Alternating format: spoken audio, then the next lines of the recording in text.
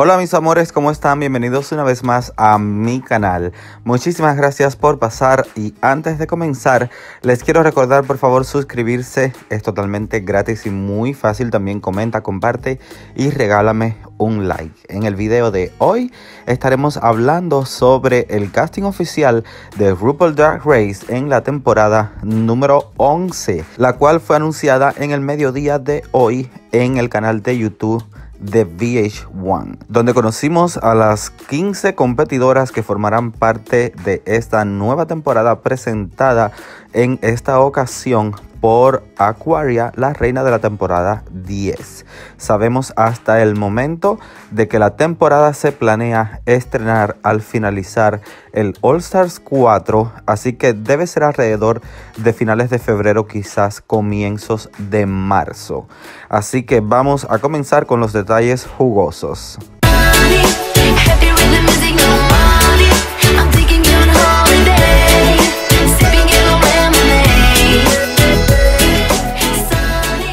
Antes de presentarles a las chicas, de verdad quiero decirles de que en primer lugar creo de que el trabajo que hizo VH1 para presentar a las chicas fue horrible. Creo que el filtro estuvo muy mal utilizado. También el chico que estaba eh, haciendo como de co-host junto a Aquaria, no creo que tenga nada que ver en esta historia. No sé ni para qué lo llevaron. Creo que hasta el pajarito Trump hubiera hecho mejor trabajo. Saben de quién les hablo, de Jake Jones. Y eh, pues bueno, nada, Aquaria la verdad que hizo un trabajo horrible. Yo la verdad considero de que ella puede ser muy buena en atuendos, en moda, muy buena actuando como, o sea, como en entretenimiento y tal. Pero me parece que ya como tal para host, para presentadora, le falta muchísimo por aprender, pero es una reina joven, tiene eh, de verdad pues eh, corta edad, es muy, muy, muy, muy joven y seguro que bueno, pues en el camino irá perfeccionándose más, pero la verdad que el trabajo fue horrible.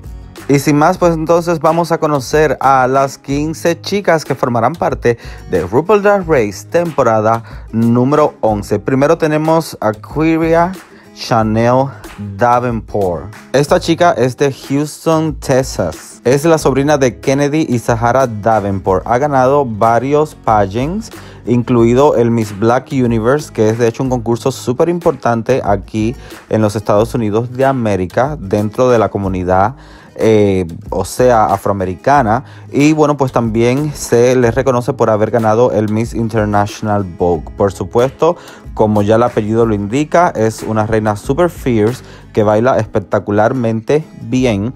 Y es algo que por ejemplo me llama muchísimo la atención que al parecer en esta temporada va a ser pues la temporada de las chicas que bailan, va a ser la temporada del baile, la temporada de las bailarinas porque casi todas, por excepción si acaso de dos o tres, pues son excelentes bailarinas, incluyendo a la gordita que sí la verán con mucho sobrepeso, pero no se confíen porque sabe cómo mover una tarima. Otra de las chicas que forma parte del casting es Ariel Versace. Es de Cherry Hill, New Jersey. Y eh, de verdad pues se le conoce muchísimo dentro de la comunidad drag por el negocio de pelucas que tiene junto a su novio Ricardo Ayala, a quien le mando un saludo si está viendo este video. Un orgullo latino, un puertorriqueño hermoso, precioso de día, el varón más hermoso que se puedan imaginar y de noche una draga súper espectacular. Eh, pues bueno, Ariel en este caso, que es de quien estamos hablando, pues ella misma se autoproclama pues como que una muñeca Brass a tamaño real.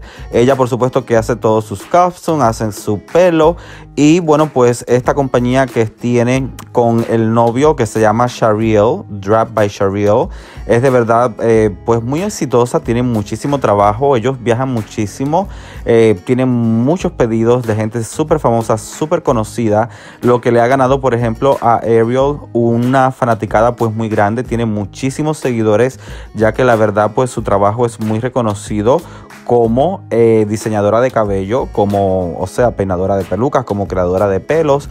O sea que su fama más que nada está basada en esto. Es en lo que ella es más como que diestra. Ya como tal, como una drag queen en sí, no es quizás como que tan espectacular. Tiene un drag un poco difícil de entender. Es como si a momentos se sintiera que no tiene talento o que quizás no tiene mucho, pero es como que ella más bien vive en su mundo y es como que nada le importa. Es más o menos así, pues como ustedes quizás puedan acercarse un poquito a conocer quién es Ariel Versace. Luego tenemos a Brooke Link Hikes. Y aquí sí hay que hacer un paréntesis muy grande, ya que esta chica, que en estos momentos está viviendo en Nashville, Tennessee, pero es original de Canadá, es yo creo el paquete más completo que vamos a tener en esta temporada. Ella, pues como ya les digo, es canadiense. De hecho, creo que es la primera chica de Canadá que va a estar en RuPaul Drag Race.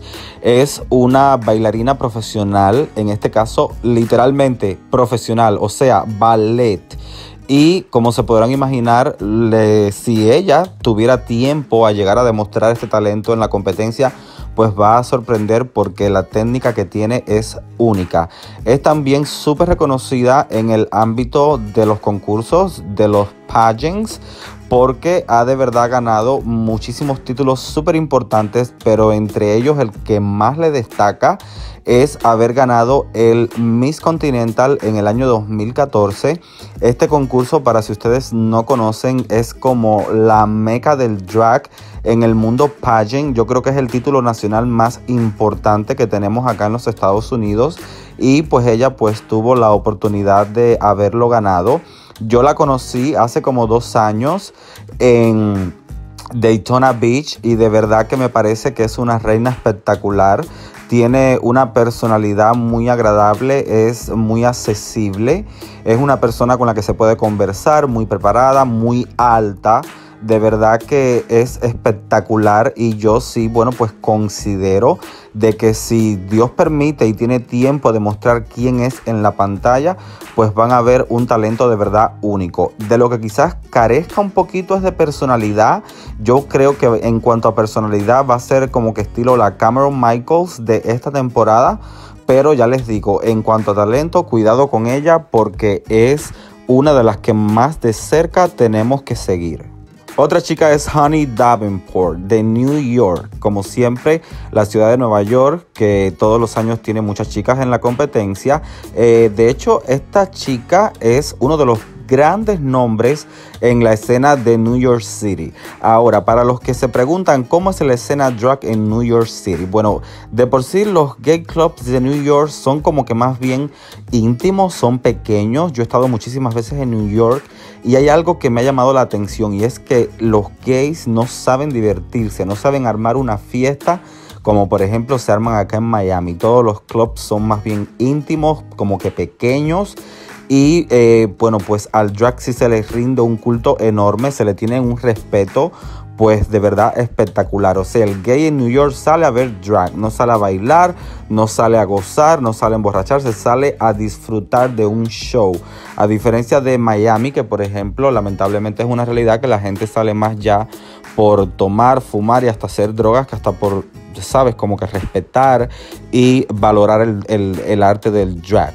Ella pues ha ganado muchísimos pageants, incluyendo Miss Paradise, eh, Miss America y eh, pues, hoy por hoy lo que podemos reconocerle más que nada es ser la mamá de Monet Change, que por supuesto no es que esto sea como que un privilegio o un gran logro, pero obviamente teniendo en cuenta de que Monet Change es una persona que hemos venido a conocer públicamente primero que a Honey Davenport, pues entonces por eso es que le toma más relevancia.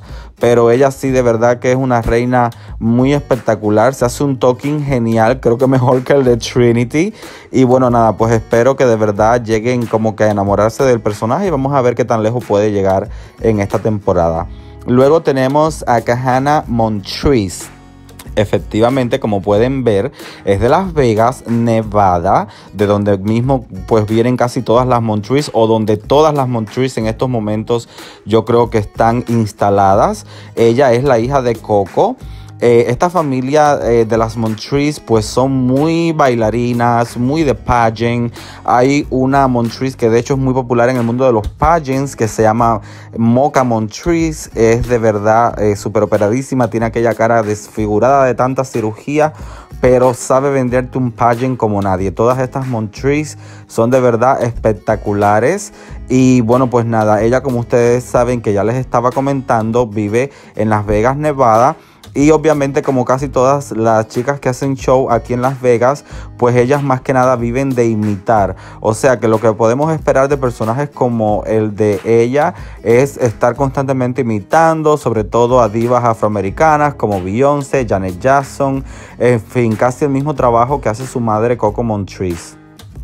Luego tenemos a Mercedes Iman Diamond. Es de hecho la primera musulmana en entrar a la competencia. Obviamente, pues como le hace culto a su religión, podemos esperar de ella muchos bailes típicos de esta cultura, de esta religión.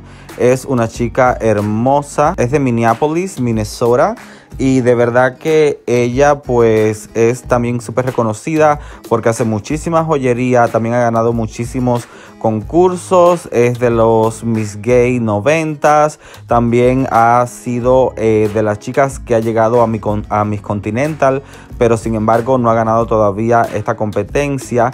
Ella de verdad que es una persona que quizás no tenga, eh, a diferencia de otras, una carrera pues extremadamente eh, prolífera, pero sí pienso de que es muy buena adición a esta competencia en la temporada 11. Y ahora pues llegamos al momento donde de verdad tenemos que rendir culto. Y es que de Columbus, Ohio, tenemos nada más y nada menos que al ícono drag Nina West. Cuando yo vi que Nina West era parte de este cast, casi lloro, porque de verdad creo que tiene el corazón más dulce que ustedes se puedan imaginar. Todas las West de acá de Estados Unidos son todas pageant queens, son hosts, son personas que tienen una carrera increíblemente larga. Cuando ustedes vean una draga que tenga el apellido West, pueden poner el cuño de que por seguro es de verdad pues una personalidad. Aquí ninguna West es una don nadie. Todas son súper famosas, súper reconocidas y la verdad que tienen todas carreras increíbles. Es una Campy Queen pues de verdad defiende muchísimo este estilo drag. Es literalmente eh, un hombre vestido de drag. O sea, ella nunca intenta imitar mujer, ser suave, ser dócil, ser femenina. Ella literalmente va a representar a un hombre en drag. Ella es lo que llamamos un macho con peluca.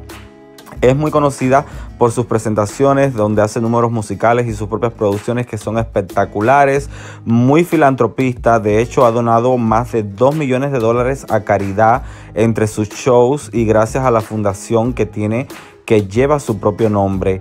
Ella de verdad que ha marcado un antes y un después en el ámbito del drag. Es un ícono, es una leyenda. Es una persona que aunque ha ganado muchísimos pageants, porque ella eh, obviamente sabe cómo llevar un paquete a una competencia y sabe vender elegancia y sabe vender glamour, pero aún así no es lo que la identifica, no es su sello. Y creo de que siendo una campy queen es lo que más que nada nos va a chocar, porque quizás veamos cosas que para muchos no sean de su agrado, teniendo en cuenta que a veces seguimos más que nada la belleza, eh, que, que se vean mujeres femeninas, bellas, elegantes. No es lo que vamos a tener de Nina, pero aún así creo de que eh, su corazón será suficiente para que el público en esta ocasión se enamore de ella y ojalá, espero todos ustedes lleguen a entender su drag.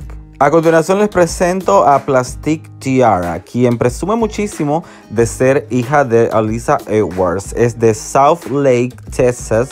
Y esta chica, pues la verdad que aunque tiene origen vietnamita, o sea, asiático, es pues muy fierce. Eh, ella pues es de verdad yo creo de las reinas de esta temporada que tiene mayor cantidad de seguidores en las redes sociales. Es estilista de cabello. Y bueno, pues también hace sus propias pelucas. Como ya les digo, pues ella a raíz de una peluca que le regaló a Lisa Edwards, pues entonces Lisa Edwards se quedó enamorada de su trabajo, la adoptó. Y la verdad que si bien a veces es un poco eh, ¿cómo poderles decir? Es como que no va mucho al detalle. Yo pienso que a ella le falta un poco quizás eh, pulirse en cuanto a las perfecciones en el drag, a ser pues bien prolija, pero aún así sí no sabe vender pues un maquillaje bonito y sabe ser un personaje que puede agradar al público. Pero sí considero específicamente con, por ejemplo, con el padding, cuando usa cuerpo, eh, pues como que las proporciones no las sabe llevar bien. Es como que quizás parezca ser un poco, eh, ¿cómo les puedo decir? Eh, novata, pero bueno, lo hizo por lo menos al show y creo que esto de por sí ya es de gran ayuda. Raya O'Hara es otra de las competidoras que lo dará todo en esta temporada. Otra chica más de Dallas, Texas. Yo creo que este año Texas pues es el estado que de verdad que más adiciones ha tenido en el reality. Ella está conectada a las casas de las Davenport, pero sin embargo no lleva el apellido es pintora eh, de profesión, eh, de verdad que hace un trabajo espectacular, pueden checar su trabajo eh, en todas sus redes sociales pues pueden ver el trabajo que ella hace, es de verdad espectacular, es muy talentosa, ha ganado muchísimos concursos, tanto locales como regionales, por supuesto baila espectacular y la verdad que eh, de verdad creo que es alguien que espero pueda traer mucha creatividad al show porque si ella aplicara su talento como artista plástica al drag que hace pues creo de que entonces eso le pudiera servir para traer cosas quizás nunca antes vistas en la competencia. Y es momento de presentarles a Scarlett Envy. Es de Brooklyn, New York, otra New York Queen. Ella tiene pues un estilo quizás un poco, digamos como que glamour, pero a la vez es como que un poquitico creepy, es como que un poquitico así, ay no sé, es como que raro, pero al mismo tiempo sí tiene pues este glamour de Hollywood es muy, muy, muy al estilo de películas clásicas. Ella se mudó a la ciudad de Nueva York, donde estudió moda en el Instituto de Tecnología. Ella pues actualmente está trabajando eh, full time como drag queen. Es de verdad eh, muy respetada en la comunidad, pero ya les digo, les va a servir mucho glamour, les va a servir eh, todo este estilo clásico, pero al mismo tiempo es eh, alguien que tiene como un estilo raro, diferente. Es como una versión americana de Valentina, pero un poquito como que más dark, aún así dentro del glamour. Llegó el momento, creo que este año de la única latina que tenemos, y me refiero a Sugar Kane. Ella radica en New York, pero es de descendencia latina. Ella de verdad que ha tenido pues muchísima popularidad porque es muy buena haciendo lip sync, muy buena haciendo comedia. Ella ganó el concurso el Miss Look Queen que lo patrocina y del cual de hecho es dueño Bob the Drag Queen. Ella, pues la verdad que espero que no se vaya temprano en la competencia, ya que no tiene una carrera muy amplia con tantos logros, pero sí considero que quizás su comedia y pues su capacidad de lip sync le ayude para poder eh, llegar lejos en la competencia porque ustedes saben que si ustedes saben vender comedia pues van a tener su buen lugar asegurado en el reality que más que nada pues esto es en los que pone a las chicas constantemente en comedia, en actuación así que por esta parte yo pienso de que ella pues tiene el gato debajo de la mesa bien guardado y ahora les presento a Silky Natme Ganachi. Esta chica, pues, ¿qué le puedo decir? Es la chica más plus que vamos a tener en esta temporada. Es de Chicago, Illinois. Ella pues de verdad que es súper divertida, muy amorosa. Ella pues aunque tiene eh, este sobrepeso que es obvio, aún así pues es muy fierce. Baila espectacular, es un whole package. Ha competido en más de 100 pageants, ha ganado muchísimos títulos súper importantes, sobre todo en la categoría, en el apartado de Plus. Y eh, la verdad que yo pienso de que ella va a ser una gran adición al programa. En este caso es una persona que sí es muy dulce, muy adorable. Creo que las personas van a llegar a enamorarse profundamente de este personaje porque ella creo que sí trae muchísimo para dar en esta ocasión. Y ahora le corresponde a Soju, quien es como que la Kinchi desnutrida de esta temporada. Es de Chicago, Illinois. Es eh, de verdad pues muy conocida dentro de la comunidad de YouTube porque ella, como ustedes saben, tiene un canal de YouTube. Eh, no es un canal muy grande, yo creo que eh, no llega ni a 30 mil suscriptores. Si ya los pasa, quizás sea porque a raíz de que se conozca de que esté en el reality, pues mucha gente se haya ido a suscribir a su canal. Pero como tal no es un canal tan grande, pero aún así sí ha tenido la dicha de tener constantemente en él a casi todas las chicas de RuPaul Drag Race. Ella pues hace en su canal muchas entrevistas, habla muchísimo del show. Es como una especie de lo que yo hago, pero más asiático y más... Eh, o sea, podemos decir comercial porque tiene gente más importante. Pero bueno, también es muy buena en cuanto a maquillaje y ella misma se autoproclama la princesa del K-pop. Como ustedes saben, usted, toda esta onda del, del pop coreano. En fin, de todas maneras, yo creo que como personaje a Soju le va a costar muchísimo vender eh, su estancia en la competencia, al punto que quizás me atrevería a decir sea quizás de las primeras en irse. Y también ahora, pues bueno, eh, llega el momento de presentar a otra chica. En este caso es Ivy Oddly. Dame tu cosita, ah, ah, dame tu cosita. Ah.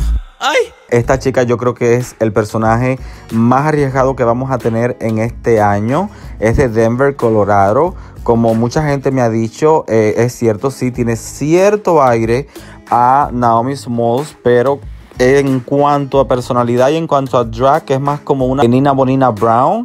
Ella es de verdad súper creativa, tiene unos looks súper locos. La única diferencia entre ella y Nina es que Nina Bonina Brown se expresa un poco más en el maquillaje y Ivy pues es más bien de costumes, de trajes, de disfraces. Ella lo que más la hace sobresaltar es los materiales súper poco convencionales que utiliza para crear sus looks y aún así eh, pues le quedan espectaculares, le quedan bien y es siempre un personaje muy colorido y muy llamativo. Y por último, pero no menos importante, por supuesto, Vanessa Vanji Mateo que eh, supuestamente, como ella misma dice, ha regresado por demanda popular, cuando todos sabemos que es una mentira. Ella no es ninguna solicitada ni ninguna pedida. Ella ha venido a Timbales porque RuPaul sencillamente así lo quiere. Es como que en estos momentos eh, es cierto que es favorita de los fans, pero más que ser favorita de los fans, yo creo de que ella más que nada es como que la nueva obsesión de RuPaul ella pues, eh, como ustedes saben, casi apenas dejó la temporada 10, que de hecho fue la primera en irse, pues se hizo una reina de memes, eh, también ganó mucha, muchísima notoriedad debido a que RuPaul la vivía nombrando o usaba piezas haciendo alusión a su nombre. Ella pues durante todo este año ha estado participando con grandes dragas en giras por todo el mundo y haciendo trabajo que normalmente una chica que abandona la competencia en la primera semana no alcanza a hacer. Lo que por supuesto desde hace mucho tiempo nos dio indicios de que ella podría ser alguien que regresara y lo que sí no nos esperábamos quizás que fue lo más sorprendente es que fuera tan pronto. Y bueno, pues es casi como que la Changela de esta temporada, ya que como ustedes saben, Changela estuvo en la temporada 2 y regresó en la 3. Pues bueno, Miss Benji estuvo en la 10, regresa en la 11. Y bueno, pues ahora esperemos que podamos ver más de ella, ya que muchas personas la acusan de ella ya saber pues cómo funciona todo, porque ya estuvo pero es válido recordar de que ella está tan perdida como las demás, porque una vez que el primer capítulo se termine, ella de ahí en adelante va a estar a la par en cuanto al resto de las chicas, ya que ella apenas llegó a ser nada en la competencia. También hay gente que dicen, bueno, Miss Benji como se fue de primera este año, pues no tuvo que gastar nada porque va a usar lo mismo que se puso o que tenía preparado para ponerse en la temporada 10. Pero no, porque como ustedes saben, cada año todo es diferente, los runways son diferentes, los challenges son diferentes. Y entonces pues yo creo de que así se tuvo que gastar el dinerito y hacerse un paquete desde cero. Y así mis amigos pues entonces les queda presentado oficialmente el cast de esta temporada. Me gustaría saber en los comentarios quién es o quién es su favorita. Yo por esta parte pues que les puedo decir súper dolida porque otro año más en que nadie de mi comunidad Drag de Miami entre en la competencia. Eh, otro año más en el que somos olvidadas, en el que no somos ni siquiera mentadas. Y la verdad que es muy doloroso porque hay tanto talento acá en el sur de la Florida y ver que nunca hemos tenido una oportunidad en el show es tan doloroso. Pero bueno, nada, si Dios quiere, si ustedes saben lo que quiero decir, muy pronto eso va a cambiar. Así que sin otro asunto a tratar, me despido. Disculpen que no haya venido en cámara. Es que de verdad ando como una loca en mil cosas. Si ustedes me entienden lo que les quiero decir. Estoy ocupada, cariño. Necesito tiempo para salir en cámara porque hay proyectos y cosas grandes de por medio. En fin, nos vemos en un próximo video y espero que el sábado me acompañen para hacer la revisión de All Stars 4 en su nuevo capítulo y por supuesto, si Dios quiere, el domingo tendremos también una entrega más de Drag Latino, el comienzo. Yo soy Anika Leclerc, les doy un beso enorme a través de este audio video y nos estamos viendo muy pronto. Chao.